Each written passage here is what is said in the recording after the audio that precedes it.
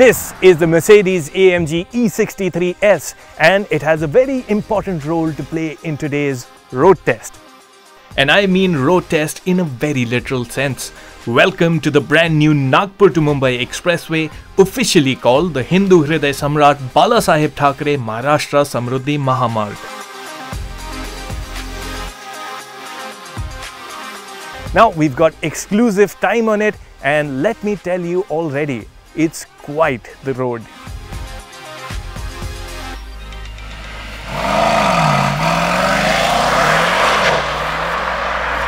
Built to connect Maharashtra's sub-capital Nagpur and capital Mumbai, the Samruddhi Mahamarg is a 701 km, 6-lane access-controlled expressway.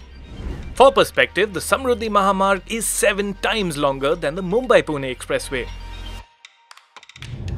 The Samruddhi Mahamarg promises to cut travel time between Nagpur and Mumbai from the current 16 hours to just 8.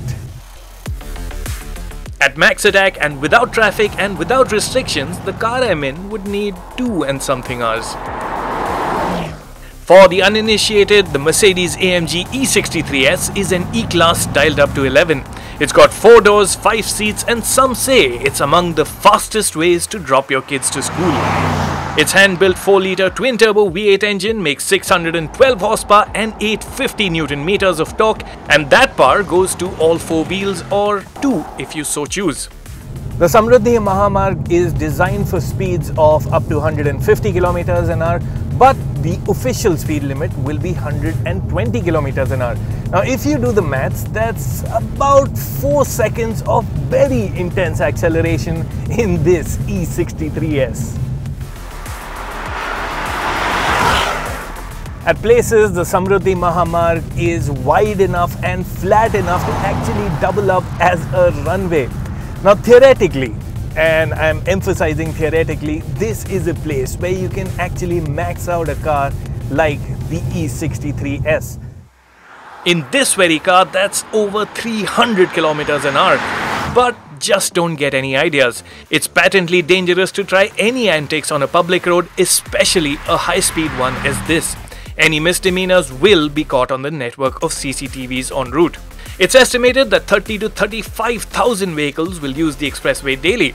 Today though, I have a large chunk of it all to myself. So excuse me if I'll be giving in to temptation every now and then.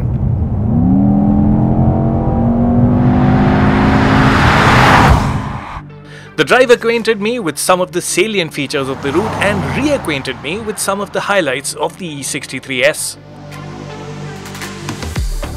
They cleverly place sound barriers near habited areas and that's just as well because this E63S is very proud to be loud. The AMG really roars. In fact, the animals around might be wondering what's that angry beast in their neighborhood. Now on the subject, the Samruddhi Mahamarg is unique for animal overpasses that actually allow wildlife to cross from one side to the other without needing to cross the actual road itself. The strategically positioned overpasses provide safe passage for animals, almost like a walk in the park, while vehicles zip by below at 120 km an hour. And there's a lot of amenities for road users in the works as well. Over time, the Samruddhi Mahamarg will have 21 wayside amenities with food courts and petrol pumps and importantly, each of them will have EV charging stations. So it's going to be quite a future-proof route.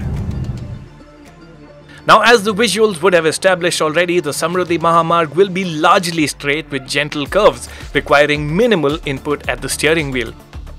If there's a road built to test the advantage of ADAS features like adaptive cruise control and lane keep assist, this is it. The most steering you'll have to do is on the vast interchanges, of which there'll be 22. Interestingly, the toll collection booths will only be on the exit and entry ramps and not on the main expressway itself. When the road is fully functional, it'll be absolutely ready with FASTag. So this will be a fully seamless experience. But I'm going to do a ceremonial stop. I want that toll receipt for posterity's sake. Before you ask, the toll has been set at 1.73 rupees per kilometer for a car, so an end to end journey will cost about 1200 rupees in tolls. There you have it.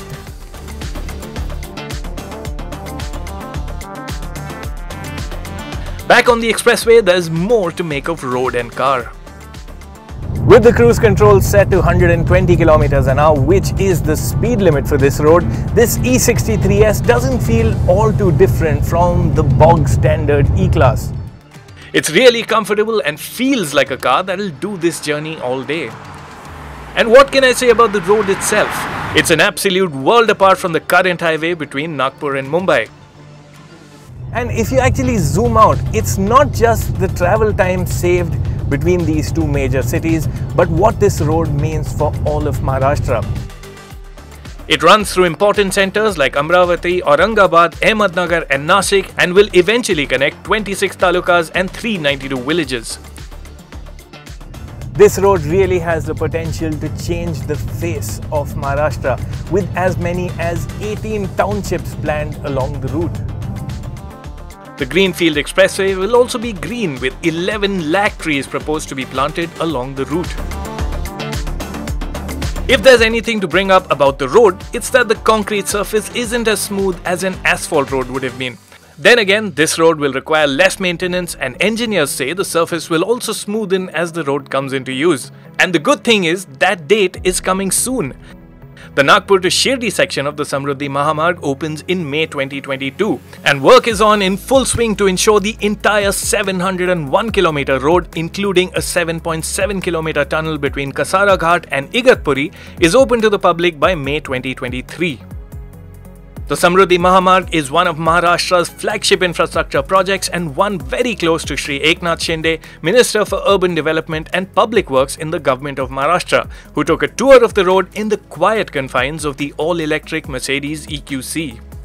ये electric vehicle Mercedes car है और ये world class car है world class road पे चल रही है ये रोड ही वर्ल्ड क्लास बनाया है इसे मतलब लोगों के लिए एक बहुत ही एक स्मूथ राइड है Here's the Honorable Minister on the scale of the job and getting it done within five years. सबसे पहले तो कोई भी प्रोजेक्ट होता है हाईवे होता है तो उसको लैंड एक्विजिशन बहुत ही इम्पोर्टेंट पार्ट होता है। और इसमें इस समृद्धि हाईवे के लिए जो लैंड एक्विजिशन हुआ है, वो रिकॉर्ड टाइम में हुआ है। पहले तो देखो, शुरुआत में कई लोगों का अपोज था यहाँ पर। काफ़ी लोग विरोध कर रहे थे। रेजिस्टेंस था और फिर उनको बताया कि वो जो गवर्नमेंट कॉन्ट्रैक्ट होता है, उसके ऊपर मैंने खुद एज ए विटनेस मैंने साइन किया। खुद उसको विश्वास दिलाने के लिए। और उसका विधानसभा असेंबली में भी कई लोगों ने पूछा कि, शिंदे जी, आपने तो कुछ नया ही शुरू कर दिया है। तो मैंने बोला, ठीक है। शुरू किया है, लेकिन उसका फ़ायदा होगा ज़रूर। फिर वो मेरा आइडिया जो है, काम आ गया। और लोगों को मैंने कहा कि आप आपकी ज़मीन दीजिए। और आपके अकाउंट में within two hours RTGS के माध्यम से आपके पैसे जमा हो जाएँगे। हम लोग चले गए, ढाई घंटे में मुझे फ़ोन आया उस फार्मर का, पैसे जमा हो गए। ऐसा एक भरोसा, जो ट्रस्ट है, वो डेवलप होते गया।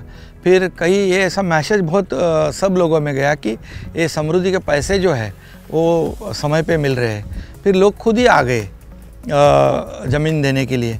और फिर एक साल के अंदर हम लोग ने पूरा लैंड एक्विशन किया रिकॉर्ड टाइम में। ये रिकॉर्ड है। और जैसे आप कहते हैं कि आ, किसी भी शहर और ज़िला हो राज्य हो उसके जो रोड अच्छे होते हैं मतलब ट्रांसपोर्टेशन कम्युनिकेशन कनेक्टिविटी जिसकी अच्छी होती है, उसको, उस, उसकी जो प्रोग्रेस है, बहुत फास्ट होती है। मुझे एक याद आ रहा है कि जैसे अमेरिका के ex president John F Kennedy का उनका एक कोट है। उन्होंने कहा था American roads are good not because America is rich but America is rich because American roads are good We also got an insight on the eco-sensitive measures of the project from Sri Radheshyam Mopalwar, Vice Chairman and Managing Director of the Maharashtra State Road Development Corporation. See, the most important thing is, uh, you know, it, when it comes to environment and uh, ecology, uh, forest, uh, trees.